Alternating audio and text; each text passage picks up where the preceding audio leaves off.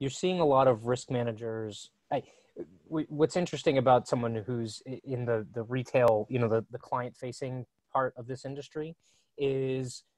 what the the product that you sell um, isn't apparent its value isn't apparent or your service you know the value of your service isn't necessarily always apparent until something like this happens right it's the it's the hand holding hand holding it's the professional guidance um, i think you're seeing a lot of folks that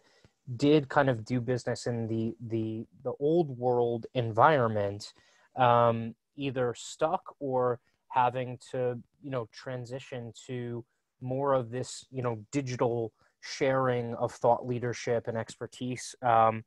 you know i, I think I, a lot of people the old mindset used to be like why give something away for free when you can charge for it right i, I mm-hmm. think that mentality is completely out the window because there's so much good information out there for free nowadays that you know the the the cream rises so to speak right? So you're going to give out that like you know 95% of your stuff for free. It's that extra 5% that's the real value right? Um, but that's not unlike what used to happen before right? What what used to happen before was if i'm getting the same 95% i can get from anyone else how do you differentiate yourself right it's that extra 5% that's what you get paid for so i, think it's it's different but it's also the same so um,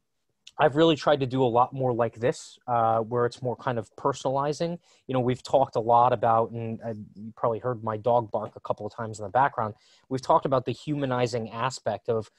you know, what remo- being thrust into remote work has kind of brought into the equation, and it also comes into that work-life balance. You know, I feel closer with people having seen their homes in the background and having met their animals and seen their children and heard them and things like that more so than the the kind of like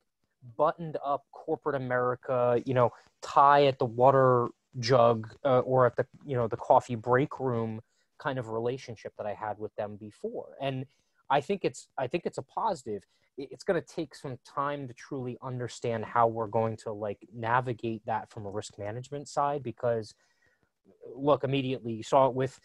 with Zoom and other online, I mean, Zoom gets picked on because they have the majority of the market share, but other online meeting platforms, hacks and things like that, people saying awful stuff in chat when it wasn't password protected and things like that. There's all those risk management considerations that have to be put into place. But, you know, the, the digital world is a completely different animal than um, what used to be the kind of like knock on the door sales and, and risk management approach to things.